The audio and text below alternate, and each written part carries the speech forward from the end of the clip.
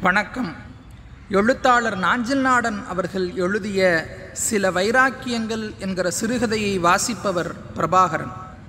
ஊரும் சதமல்ல உற்றார் சதமல்ல உற்று பெற்ற பேரும் சதமல்ல பெண்டிர் சதமல்ல என்று நீட்டி முழக்கி பட்டினத்தடிகளை பரலோகம் வரை சென்று பற்றி இழுத்தது பரமசவ பரமசிவம் பிள்ளையின் வெண்கலக் குரல். மார்கழி மாதத்து காலை நேரம் பசிய புல் நுனிகளில் படிந்திருந்த பனித்துளிகளை பகலவன் வாரி வாரி உண்டு கொண்டிருந்தான். முற்றத்தில் நின்ற வேப்பமரம் சிலிர்த்து சிரித்தது. மெல்லிய பூங்காற்று ஏழரை மணி வெயில் இதமாக இருந்தது. பரமசிவம் பிள்ளை பூஜை அறையில் இருந்து மணியை கிழுக்கினார் பூஜை முடியும் தருவாய்.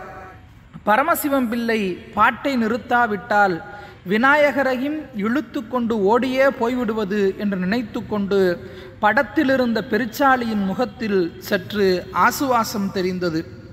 பூஜையை முடித்து கூடத்துக்கு வந்தார். உடலெல்லாம் வரி வரியாக திருநீற்று பூச்சு. கழுத்தில் தங்கத்தால் கோக்கப்பெற்ற உருத்திராட்சம். அறையில் நூறாம் நம்பர் இரட்டை வேட்டி. வேட்டியை மீறிச் சரிந்திருந்த தொந்தியை இழுத்து பிடிக்க முயன்று தோற்று கொண்டிருந்தது அறையில் சுற்றி கட்டிய துண்டு. வெளியே வந்தவரை ஏறிட்டு பார்த்தாள். அடுக்கலையிலிருந்து எட்டி பார்த்தால் அவரது மனைவி சங்கர வடிவு எங்க மாநாட்டுக்கோ எங்கேயோ போகணும்னு சொன்னேலே காப்பி குடிக்கலா பரமசிவம் பிள்ளை நிதானித்தார். மணி ஏழரை தான் ஆகியிருந்தது. பத்து மணிக்குத்தான் மாநாடு. வில்வண்டியை கட்டினால் இரச்சகுளத்திலிருந்து நாகர்கோயில் போக முக்கால் மணி நேரம் ஆகும். ஒன்பது மணிக்கு புறப்பட்டால் கூட போதும். இன்னும் நேரம் இருக்கிறது என்றாலும் சூட்டோடு சாப்பிடுவதில் அவருக்கு விருப்பம். சூடு ஒரு ருசி சிவப்பு ஒரு அழகு இல்லையா? அடுக்கலையை நோக்கி நடந்தார். நுனி வாழை இலையில் ஆவி பறக்க ஐந்தாறு இட்லிகளை வைத்து ஓரத்தில் இரண்டு மூன்று கரண்டி மிளகாய் பொடியை வைத்து அவர் அதை விரலால் குளிக்க நல்லெண்ணெய் அதன் மீது சரித்தாள் மனைவி. பரமசிவம் பிள்ளை சாப்பிட ஆரம்பித்தார். உள்ளே போய்க் கொண்டிருந்த இட்லிகளின் எண்ணிக்கையை கணக்கிட்டால் ஊரும் சதமல்ல உற்றார் சதமல்ல என்று சற்று முன் பாடியவர் இது ஒன்றைத்தான் சதம் என்று எண்ணுகிறாரோ என்று தோன்றும். சாப்பிட்டுவிட்டு வெளிப்படிப்புறையில் போடப்பட்டிருந்த சாய்வு நாற்காலியில் சாய்ந்தார். சுட சுட சாப்பிட்டதால் அந்த பனி மாதத்தில் கூட அவர் மேனியில் வியர்வை வெடித்தது. தோளில் கிடந்த துண்டால் உடம்பை துடைத்து கொண்டு வெற்றிலை போட ஆரம்பித்தார். ஆறுமுகம் குதித்து கொண்டிருந்தான். அவனும் பிள்ளைமார்தான். வயதும் பரமசிவம் பிள்ளையைப் போல் அறுபது இருக்கும். என்றாலும் வறுமை காரணமாகவோ இல்லை வண்டிக்காரன் பதவி காரணமாகவோ அவனுக்கு இர் மரியாதையோ பிள்ளை பட்டப்பெயரோ யாரும் தருவதில்லை. எல்லோருக்கும் அவன் பெயர் ஆறுமுகம் மட்டும்தான்.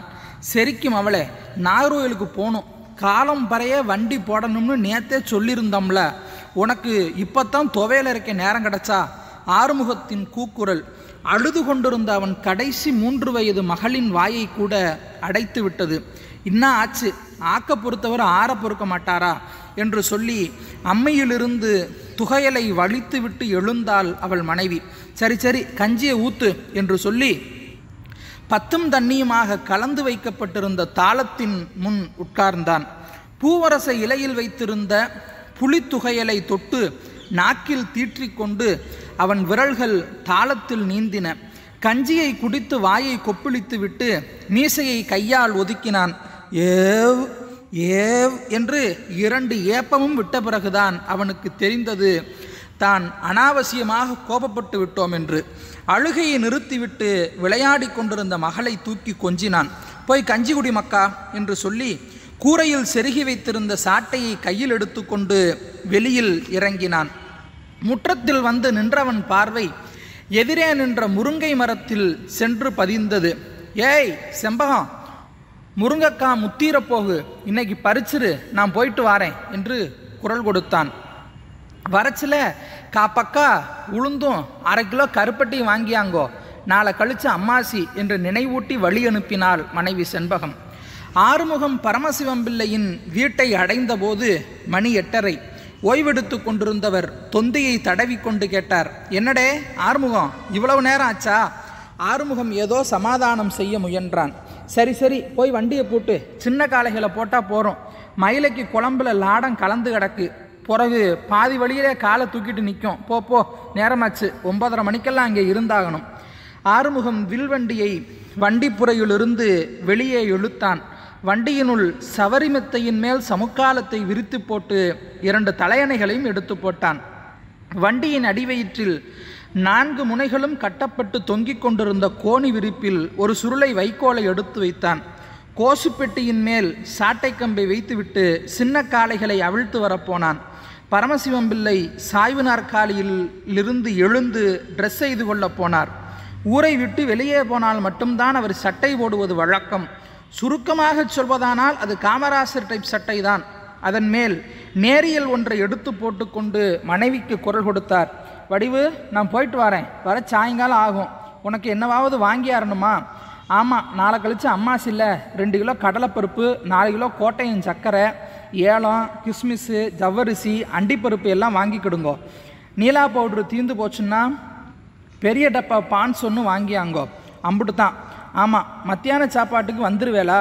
அதெல்லாம் நான் அங்கே பார்த்துக்கிடுவேன் சரி போயிட்டு வரட்டா? வெளியில் இறங்கினார். அப்பா பவுடர் வாங்க மறந்துடாத என்று வீட்டினுள் இருந்து குரல் கொடுத்தாள் நீலா. பரமசிவம் பிள்ளையின் பரமசிவம் பிள்ளையின் மகள் கல்யாணத்துக்கு நிற்பவள். வில்வண்டி நாகர்கோயிலை அடைந்தபோது மணி ஒன்பதே முக்கால் இந்து கல்லூரி அரங்கில்தான் மாநாடு நடைபெற இருந்தது. அரங்கின் வாயிலில் குலைவாழைகள் நாட்டப்பட்டிருந்தன. அதன் ஓரத்தில் நுங்கு குலைகள் செவ்வில நீர் கெவிளி பாத்திரம் குலைகள் பாக்கு குலைகளுடன் பிணைக்கப்பட்டு கட்டப்பட்டிருந்தன. கூந்தல் பணிகளின் குலைகள் கேரள பெண்களின் கோடாலி முடிச்சு கூந்தலைப் போல தரை வரை நீண்டு கிடந்தன. அரங்கின் முன் போடப்பட்டிருந்த பந்தலில் செலவோலைகளும் கூந்தல் பனையின் ஓலைகளும் நிறையப்பட்டிருந்தன. மொத்தத்தில் சமையல் வாசனை மட்டும் வீசவில்லையே தவிர கல்யாண கலைதான். முகப்பில் பெரிய வெள்ளை துணியில் வண்ண எழுத்துக்களில் எழுதிய போர்டு குமரி மாவட்ட வேளாளர் மாநாடு என்று எழுதப்பட்டிருந்தது. அதை சுற்றி வண்ண விளக்குகளின் தோரணங்கள் அரங்கின் முன்புறம் இருந்த பெரிய விளையாட்டு மைதானத்தில் கார்களும் வில்வண்டிகளும் சைக்கிள்களும் குவியத் தொடங்கின. பரமசிவன் பிள்ளையின் வில்வண்டி முகப்பை அடைந்தது. அவர் வண்டியிலிருந்து இறங்கினார். ஆறுமுகம் வண்டியை திருப்பி மைதானத்துக்கு ஓட்டிக்கொண்டு போனான். கொல்லமாவின் நிழலில் வண்டியை அவிழ்த்து காளைகளை நுகத்தடியில் கட்டினான். இரண்டு காளைகளும் புழுதி மண்ணில் நுரைபறிய சொர்ரென்று மூத்திரம் பெய்தன. வளவன் காலை அதில் வாளை நனைத்து விசிறியது. ச்சே லட்சணங்கட்ட மூதி என்று வைதுவிட்டு ஆறுமுகம் முகத்தை துடைத்தான். வில்வண்டியின் அடிவயிற்றில் கட்டி கொண்டு வந்திருந்த வைக்கோலை பிரித்து உதறி காளைகளின் முன்னால் போட்டான். பிறகு தலையில் கட்டிய துண்டால் முகத்தை அழுந்த துடைத்துவிட்டு மாநாட்டு அரங்கை நோக்கி நடந்தான்.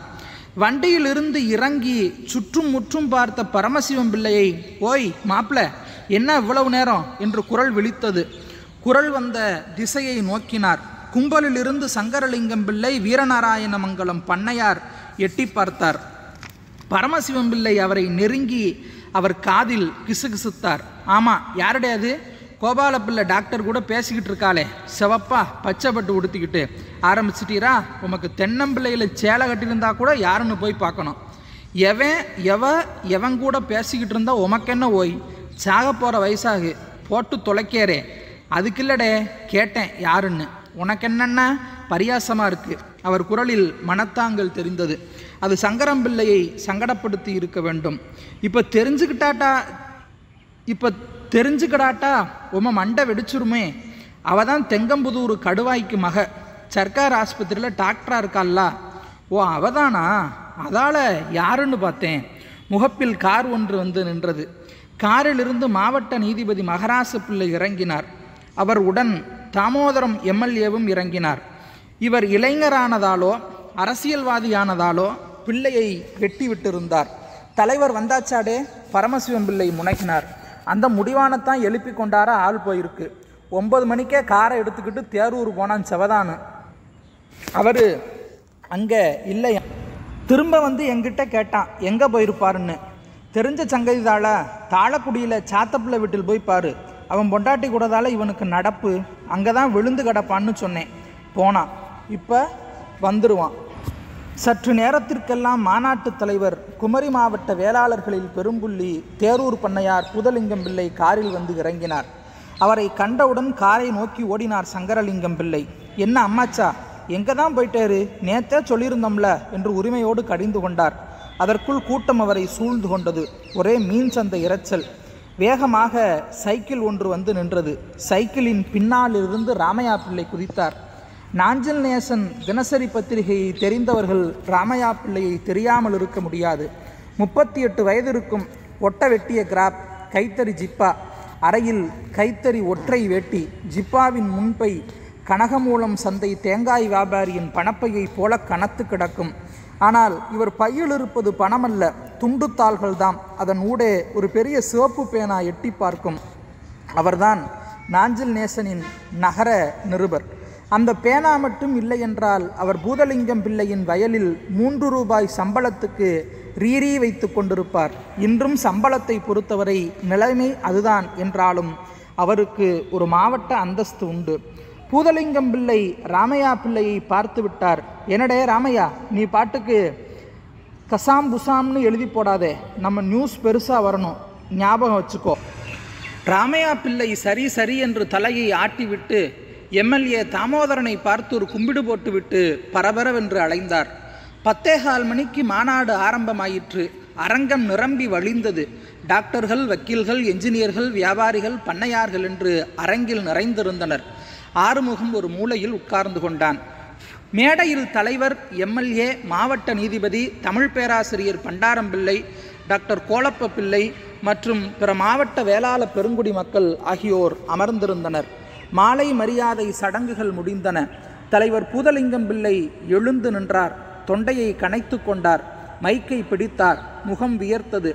முதல் மேடையோ என்னவோ துண்டால் துடைத்து கொண்டார். வேளாள பெருங்குடி மக்களே என்று தொடங்கினார். அடைப்பிற்குள் அவர் பேசியதை அப்படியே தருவதென்றால் அது சந்தை இறைச்சலை சாக்குப்பையில் பிடிப்பதைப் போலத்தான். எனவே அவர் பேசியதில் பெரும்பாலோர் புரிந்து கொண்டதை மட்டும் இங்கே தருகிறேன். இதுநாள் வரை வேளாளர்களில் மேலென்றும் கீழென்றும் பேதங்கள் காட்டி வேறுபட்டு சண்டையிட்டு நின்றோம். இப்போதுதான் நமக்கு அறிவு வந்தது. அரசாங்கம் நம் மேலோர் என்று கருதி நம்மை நசுக்குகிறார்கள். நமக்கு எந்த சலுகையும் கிடைப்பதில்லை. நமது பிள்ளைகள் வேலையற்று அலைகிறார்கள். இந்த நிலை மாற வேண்டும். நாமும் மக்கள் வழி மருமக்கள் வழி சைவர்கள் காணியாளர்கள் போன்ற பிரிவுகளை எல்லாம் மறந்து ஒரே வேளாளர்கள் என்ற நிலையில் ஒன்றுபட்டு குரல் கொடுக்க வேண்டும். நம்மை தாழ்த்தப்பட்டவர்கள் பிரிவில் சேர்த்து கொள்ள அரசை வற்புறுத்த வேண்டும் என்றெல்லாம் பேசி முடித்தார். இடையிடையில் உலகில் ஆண் பெண் என்ற இரண்டே சாதிதான் என்பதற்கும் சாதி வேற்றுமைகள் ஒழிய வேண்டும் என்பதற்கும் பாரதியையும் வள்ளுவனையும் மேற்கோள் காட்டினார். பலமான கைதட்டல்களும் எழுந்தன. அவர் சொன்னதையே வேறு சொற்களில் இன்னும் இரண்டு மூன்று பேர் பேசினார்கள். இறுதியாக எம்எல்ஏ தாமோதரன் பேசினார். அவர் எதிர்க்கட்சி உறுப்பினராகையால் பேச்சும் காரசாரமாக காரசாரமாகவே இருந்தது. ஏ அரசாங்கமே சாதிகள் கூடாது என்று சொல்லிய நீ முற்று முற்போக்கு பேசுகின்ற நீ சில சாதிகளுக்கு மட்டும் சலுகை தருவது நியாயமா? எங்கள் பிள்ளைகள் வேலை கிடைக்காமல் மாடு மேய்க்கப் போக வேண்டுமா? இது எந்த வகையில் நியாயம்? எங்களையும் பிற்பட்டோர் வகுப்பில் சேர்த்துவிடு மறுத்தால் என்று ஒரு பெரிய கேள்விக்குறியோடு நிறுத்தினார். நிருபர் ராமையா பிள்ளை அவசர அவசரமாக குறிப்புகளை சேகரித்து கொண்டிருந்தார். நாளை நாஞ்சில் நேசனில் ஆளுங்கட்சிக்கு தாமோதரன் அறைகூவல் என்று தலைப்பு வரலாம். தீர்மானங்கள் நிறைவேற்றப்பட்டு நன்றி கூறப்பட்டு மாநாடு முடிவதற்கு இரண்டு மணி ஆயிற்று.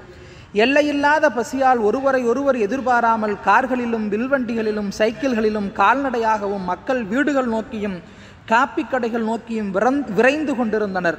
தலைவர் காரில் ராமையா பிள்ளையும் ஏறிக்கொண்டார் என்னடே ராமையா பேச்சு எப்படி? பின்னி போட்டியலே பின்னி. ஆமாம் சுழந்து ஏற்பின்னது உலகம் அப்படின்னு ஒரு திருக்குறள் அவுத்து விட்டேலே. ரொம்ப நல்லா இருந்தது. பாரு பாரு இதால வேண்டாங்கது. இருந்தாப்புல அடிமடியில் கையை போடுகையே பூதலிங்கம் பிள்ளை பொங்கி வழிந்தார். ஆறுமுகம் வண்டியை கட்டினான். பரமசிவம் பிள்ளை வண்டியில் ஏறி சாய்ந்து கொண்டார். நானும் வார மாப்பிள மணி மேடையிலே இறங்கிக்கிறேன் என்று சங்கரலிங்கம் பிள்ளையும் வண்டியில் தொத்தி கொண்டார். பசியினாலே என்னவோ சுளீர் சுளீர் என்று காளைகளின் முதுகில் இரண்டு வைத்தான் ஆறுமுகம். அவை வாளை தூக்கி கொண்டு ஓட ஆரம்பித்தன. என்ன ஓய் பூதலிங்கம் பிள்ளை பிச்சு புடுங்கிட்டாரே எங்கே வச்சிருந்தார் இந்த சரக்கெல்லாம்? பரமசிவம் பிள்ளை கேட்டார். சுந்தரலிங்கம் பிள்ளையின் முகத்தில் சுரத்தில்லை. ஏன் பேச மாட்டான்? அவனுக்கண்ண நிமிந்தா வானம் கவுந்தா பூமி பேசுகிறான் ஏன் பேசுதல என்ன தப்பு? உள்ளதைத்தானே சொன்னார். இந்த காலத்தில் சாதி ஈதி எல்லாம் ஏது ஓய்? எல்லாம் ஒன்றுதால எல்லார் உடம்புலையும் ரத்தம் சிவப்புதால? புல்ல இருக்கிறவளை தூக்கி வரப்பில் கடத்தும் போது சாதி எங்கே போய் போச்சு? தாழ்ந்த சாதின்னு சொன்னால் தலைமுழுகி போகுமோ? ஒசந்த சாதின்னு சொல்லிகிட்டு இருந்தா நம்ம பிள்ளைங்க மேலே மலைக்கு கிழங்குக்கு தான் போகணும் காலத்துக்கேத்தாப்புல மாறாண்டாமா நாமளும் பரமசிவம் பிள்ளை பொறிந்தார். சங்கரலிங்கம் பிள்ளைக்கு இந்த ஏற்பாடு ஒன்றும் பிடிக்கவில்லை. மணிமேடை வந்தது. சரி பிறகு பார்ப்போம் என்று சொல்லிவிட்டு இறங்கி கொண்டார். முறை தள்ளிய வாயுடன் நின்று கொண்டிருந்த காளைகளை தட்டி கொடுத்து விட்டு ஆறுமுகம் வண்டியை ஓட்டினான். சாதியாம் பெரிய சாதி. நார பரமசிவம் பிள்ளை எரிச்சலில் காரி உமிழ்ந்தார். வடசேரிப்பேட்டையில் வண்டியை அவிழ்த்து கிருஷ்ணன் போற்றி காப்பி கிளப்பில் சாப்பிட்டு விட்டு சாமான்களை வாங்கி கொண்டார்கள். புதுசா போட்டது என்று ஒரு ராத்தல் அல்வாவும் கட்டி கொண்டார் பரமசிவம் பிள்ளை ஆறுமுகம் தனது கடைசி மகனுக்காக நாலனாவுக்கு காரச்சேவை வாங்கி கொண்டான். வில்வண்டி இறச்சகுளத்தை அடையும் போது மணி நாலரை ஆகிவிட்டது. விளக்கு வைக்கும் நேரம் பரமசிவம் பிள்ளை கூடத்தில் சாய்வு நாற்காலியில் சாய்ந்திருந்தார். அவர் பக்கத்தில் மரஸ்டூலில் எவர் சில்வர் தட்டில் கொழுக்கட்டையும் செம்பு நிறைய காப்பியும். எதிரே அவர் மைத்துனர். மனைவியின் அண்ணன் மணகாவளம் பிள்ளை நாற்காலியில் அமர்ந்திருந்தார். அவர் பக்கத்தில் மரஸ்டூலில் தட்டும் செம்பும். காலம்பரவே வந்து உமக்காக காத்து கிடக்கேன். பார்த்துக்கிட்டு உடனே திரும்பணும்னு. நீர் என்னென்ன மாநாடு எலெக்ஷன்னு அலையேறு. மைத்துனர் அழுத்து கொண்டார். என்னத்துக்கு இப்போ கிடந்து பறக்க? எல்லாம் நாளைக்கு போனால் போகிறோம் பெரிய கெவர்னரு. நம்ம நீலாவுக்கு நல்ல தரம் ஒன்று வந்திருக்கு. பையன் கோதையாரில் என்ஜினியர் அவன் அப்பனை பெத்த ஆத்தா சொம்மு விட்டுக்கிட்டு போயிருக்கா. வசதியான இடம். உங்களை கலந்துக்கிட்டு போகலாம்னு வந்தேன். அது யாருடே? அலையாண்டிபுரத்தில் எனக்கு தெரியாமல் அதால் செத்தாடு தூக்கி சிதம்பரம் பிள்ளைக்கு தங்கச்சி மகன். கிழக்கே எங்கேயோ படிச்சுக்கிட்டு இருந்தானே அவன்தான். ஓ உமையமே மகனா? அதாலே பார்த்தேன். நல்ல தரம் கொண்டாந்திருக்கடே மருமகளுக்கு. பரமசிவம் பிள்ளையின் குரலில் கேணி கேலி துணித்தது ஏன் தரத்துக்கென்ன பய ராசா மாதிரி இருப்பான் உமையம்மைக்கு ஒரே மகன்தான். உமக்கு தான் தெரியுமே மனகாவலம் பிள்ளை. தரத்துக்கு என்னவே? சரிதான். உமையமைக்கு மாப்பிள்ளை யாருன்னு தெரியுமாடே உனக்கு? பரமசிவம் பிள்ளையின் குரலில் கடுமை இருந்தது. ஏன்? யாரு? பொழந்து போச்சு. யாருன்னு நான் கேட்க அவன் மர்மக்க வழிக்காரம்ல உனக்கு புத்தி ஏண்ட எப்படி போகணும்? மணகாவளம் பிள்ளையின் முகம் விழுந்து விட்டது. அதையெல்லாம் பார்த்துக்கிட்டு இருந்தால் முடியுமா இந்த காலத்தில்? பரமசிவம் பிள்ளை இடை வெட்டினார். சரிதான். சோழியை பார்த்துக்கிட்டு போடே மாப்பிள்ளை பார்க்காம மாப்பிள்ளை. மணகாவளம் பிள்ளை தலையை குனிந்து கொண்டார். ஏதோ வேலையாக அந்த பக்கம் வந்த ஆறுமுகம் இதையெல்லாம் ஆரம்பம் முதலே கேட்டுக்கொண்டு நின்றான். அவனுக்கென்னவோ இன்று நடந்தவைகளில் ஒன்று கூட புரியவில்லை இந்த கதை. தீபம் இதழில் செப்டம்பர் ஆயிரத்தி தொள்ளாயிரத்தி எழுபத்தி ஐந்தாம் ஆண்டு வெளிவந்தது. நன்றி.